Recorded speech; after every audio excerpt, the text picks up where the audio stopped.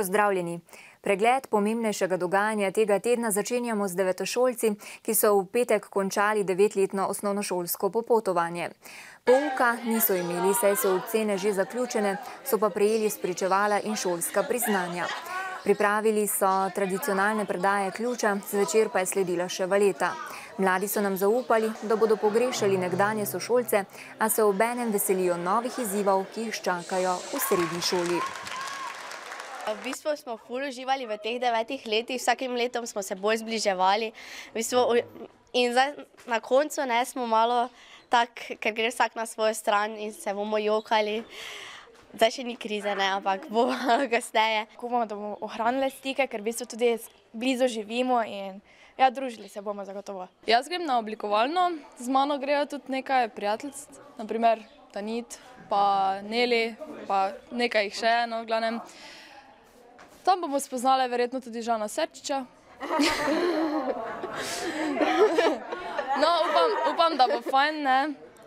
Glede na to, da si želimo resničiti svoje sanje, naprimer, da postanem modna oblikovalka, pa tudi pevka bi ful rada postala, ne. Odvedno hodim na to šolo, zato nisem navajena menjavanja šol in ne vem, kakšna izkušnja bo to, ampak vem, da bom tudi moje gusteke pogrešala. Se mi zdi, da smo dobra generacija, ker se res družimo in se pač imamo radi, nasploh ni nekih razlik med nami in mi je ful super res, da sem lahko na to šolo hodila in sem spoznala take ljudi. Spomnim se, da sem tako pred enim mesecem že komaj čakal, da bo konec, pa da sem govoril, da komaj čakam, da grem že iz osnovne šole, ampak samo zdaj pa več ni tako. Zdaj več ni isto. Sedaj pa k gospodarskim temam.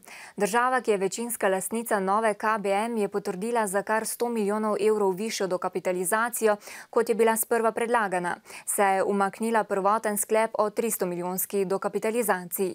Hkrati pa so napovedali, da bodo še ta mesec proti 15 osebam uložili očkodninske tožbe zaradi dobrih 66 milijonov evrov potencijalne škode. Gre za prvo skupino tožb na podlagi forenzične revizije, jeseni naj bi namreč sledil še drugi del.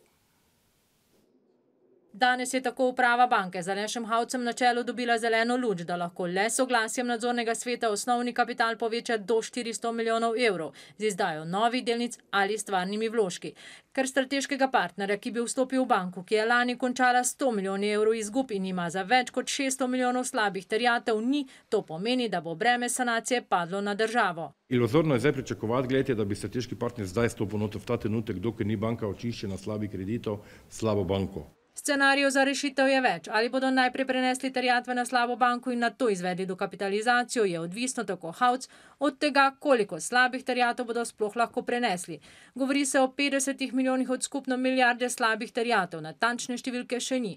Prav tako danes nismo izvedeli, kdo bo najprej moral na sodišče zaradi oškodovanja banke. Mi pravzaprav imen sploh razkrivali ne bomo, to moram odkrito povedati. Je pa res, da je teh oseb veliko in da v drugem paketu, ki bo jeseni, jih bo verjetno še veliko več kot zdaj v prvem. In tudi številke o morebitni škodi niso majhne, še dodaja prvi mož banke, ki pa je bil deležen ogorčanja malih delničarjev. Ti so bili iz danes izglasovane dokapitalizacije izločeni. Mi smo svoje žulje dali, no drugi so še kredite jemali. Kaj pa imamo zdaj? Banka stoji, oni plače imajo lepe not, mi pa polovico Maribora nimamo kaj jesti. To, kar je pa danes, je pa seveda pika na i v norčevanju iz ne samo delničarjev družbe, teh je še vedno sedemindevetdeset tisoč, pač pa vseh državljanov. Mi smo napovedali izpodbijanje tega sklepa, saj menimo, da je v škodo malih in manjšinskih delničarjev. Sicer pa naj bi bila dokončna sanacija banke izvedena šele v dveh letih, banka pa naj bi dobiček dosegala v letu tisoč štirinajst. Na mariborskem zavodu za zaposlovanje, kjer trenutno ugotavljajo rekordno osemnajst odstotno brezposelnost, se jim je zdaj zmanjšalo še število prostih delovnih mest in to kar za trideset odstotkov. Delodajalcem namreč ni več treba prijavljati prostih delovnih mest. Da bi ohranil stike z delodajalci in razmerami na trgu dela, je zavod odprl posebno pisarno za delodajalce, kjer jim ponuja vso administrativno podporo na enem mestu. Na pogorišču nekdanjega Tama je podjetje BNM pred dvema letoma začelo proizvodnjo karoserijskih delov le šestimi zaposlenimi. Danes zaposluje že 58 ljudi. Pri iskanju delovne sile si pomagajo s pisarno za delodajalce, ker so pridobili tudi subvencijo za usposabljanje kadrov. V tem momentu vodimo že drugo izobraževanje. Lansko leto septembra smo pričeli s prvim, kjer smo usposabljali šest kandidatov. Moram reči, da smo za štirimi najeli tudi sodelovanje v prihodnje imajo zaposlitev. V tem trenutku se pri nas usposablja osem kandidatov. Med njimi je tudi 46-letna Mira Stranšek, ki je delo izgubila pred dobrim letom. Bila sem na zavodu za zaposlovanje, so me poklicali, če sem se pripravljena zaposliti, sem rekla, da ja, takoj ne in je bilo to to, stekla je akcija in sem prišla sem, si uredila papire in začela delati. Prednost pisarne je tudi ta, da lahko delodajalcu organizira zaposlitvene razgovore. Pred kratkim so zaključili tudi cevarji, kar je nov program na področju kovinarstva in varilstva. Tudi tukaj smo delodajalca že peljali dobesedno v šolo, si je izbral primerne kandidate. Če ne bi bilo te pisarne, jaz ne bi imela danes službe. Na zavodu so prepričani, da bodo z neposrednimi stiki z delodajalci upeljali programe, ki bodo zmanjšali neskladje na trgu dela in ponudili delovno silo tudi tam, kjer danes zaposlujejo tujce. Slovenski žagari so zaskrbljeni. Prejšnji teden je namreč začela veljati odločitev sklada kmetijskih zemljišč, da bo les iz državnih gozdov prodajal na javnih dražbah in tako ugotovil, kakšna je realna cena lesa. Zato so se odločili, ker naj bi gozdno gospodarstvo Maribor prikazovalo nižjo ceno, kot je povprečna cena lesa v Sloveniji. A ukrep, s katerim želi sklad upravičeno narediti red na tem področju, bo, če tudi naj bi bil le začasen, vplival na žagarje in lesno predelovalno industrijo. Ti so del proizvodnje že zmanjšali ali ustavili. Lastnik žage v Rušah, Tone Razdevšek, se sprašuje, ali bo moral poles, ki ga je desetletja kupoval doma, po novem na Hrvaško ali Mačarsko. Sklad kmetijskih zemljišč bo namreč slovenski les prodajal na dražbah najboljšemu ponudniku. Trenutno se cene gibljajo od surovine drugo in tretje kvalitete, od 88 do 90 evrov po kubiku, surovine prve klase 115, od te, te cene ima država 20% DDV, če ga kupi tujec, v resnici država nima nič, ki ga kupuje praktično tudi na licitacijah po nižjih cenah, ko ga trenutno plačujemo žagari slovenski. Slovenski žagarji bodo do domačega lesa le stežka prišli. Na dražbah je namreč potrebno takošnje plačilo z gotovino. Licitaciji si trenutno žagarji v Sloveniji ne moremo prevoščiti zaradi tega, ker doben ni finančno tako močen, da bi lahko hodil na licitacije, a ne, pa licitiral večje količine lesa tujcem. A ne. Čas je vedno edini in pravični razsodnik in pokaže, ali je bil ukrep pravilen ali ne. Z našega vidika trenutno seveda ni pravilen. Ogrožena so delovna mesta. Absolutno, delovna mesta so ogrožena. Z ukrepom naj bi želel sklad predvsem preveriti razmere v gozdnem gospodarstvu Maribor, kjer naj bi prihajalo do velikih razlik v ceni. Ko bomo prve javne dražbe v Mariboru izvedli, bomo videli, kaj se bo zgodilo. Ko bomo to preverili, bomo videli, da, dejansko, da je dejansko stanje, kot ga prikazuje GG Maribor, pravilno in je to to. Mi sami neposredno na izkazovanje tržne cene nimamo nikakršnega vpliva. Razen to, da korektno izmerimo količine in da jih pomnožimo z cenikom, ki jih je sklad kmetijskih zemljišč objavil na internetu in veljajo kot tržne cene. Postavlja se tudi vprašanje, kje bodo drva za kurjavo kupovali Slovenci. Obstaja nekje na to, koliko posekajo v zasebni gozdovi, tri milijone kubikov lesa, ki je še vedno na razpolago na slovenskem tržišču, tudi za vse te prebivalce, pa za naše žagarje, ne? Pomisleka, da bodo zasebniki ob večjem povpraševanju drva najverjetneje podražili, pa Šinkova ne komentira.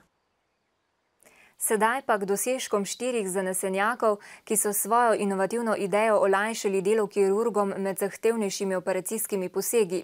Kirurgi namreč med operacijami pogosto potrebujejo podatke o bolniku. Ker so shranjeni na računalniku v drugem prostoru, morajo večkrat zapustiti operacijsko dvorano. Kirurgi se morajo potem vsakeč znova razkužiti, zato izgubljajo tudi dragoceni čas. Z informacijsko rešitvijo Adora jim posega doslej ne bo več treba prekinjati.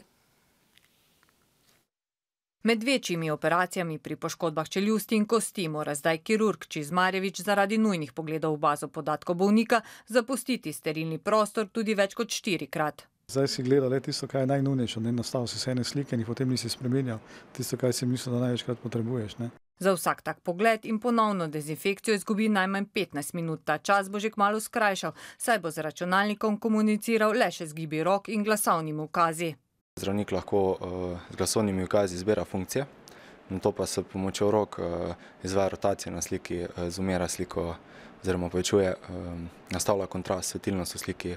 Bistveno je to, da se kirurg ne onesterile med samim posegom, torej zmanjša vsaj menjavanje rokavic oziroma menjavanje celotnega operativnega obleke, operativne obleke.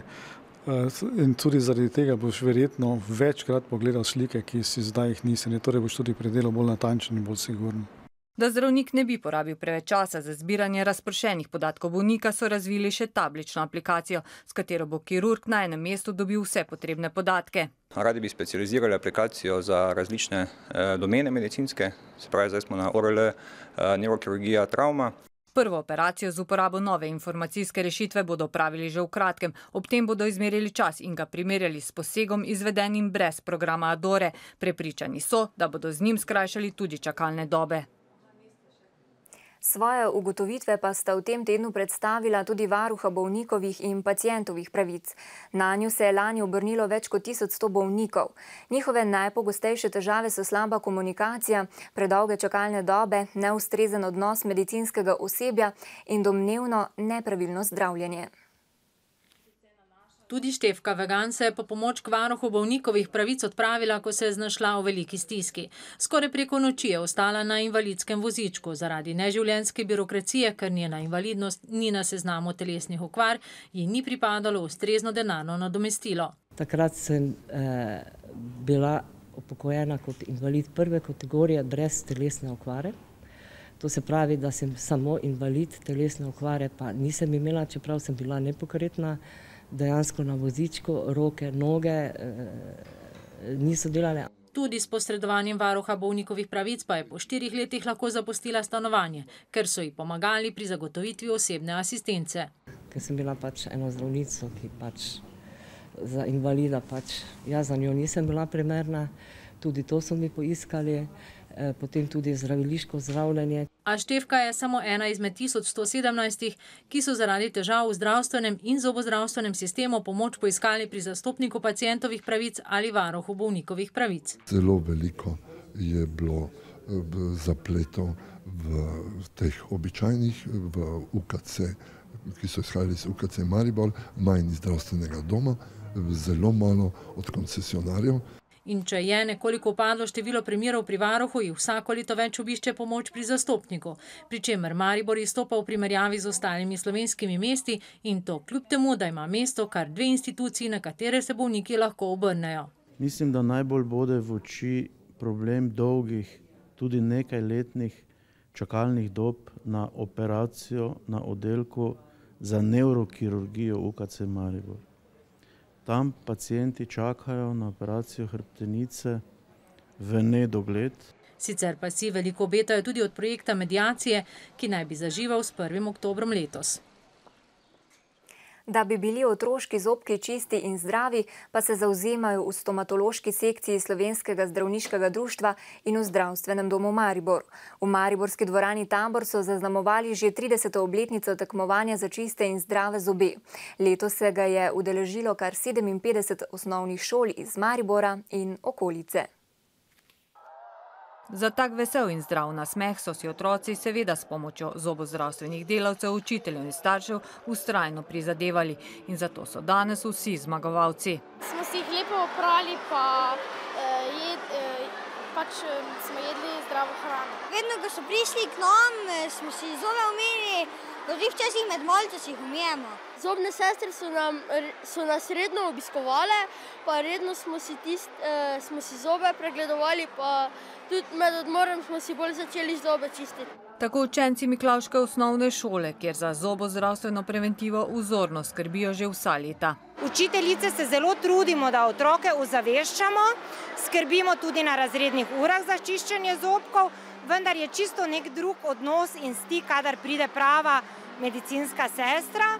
Da bi izboljšali možnosti za higieno zob na vseh šolah, se že 33 let trudi tudi Rosvita Makovec. Povsod pogoji niso dobri. Radi bi uvedli predvsem higijenske kotičke v prve razrede osnovnih šol, saj takrat izraščajo šestice, to so prvi stalni zobje. Žal pa preventive še vedno ni ne v nacionalnem, ne v učnem programu, niti ni sredstev in smernic za to dejavnost.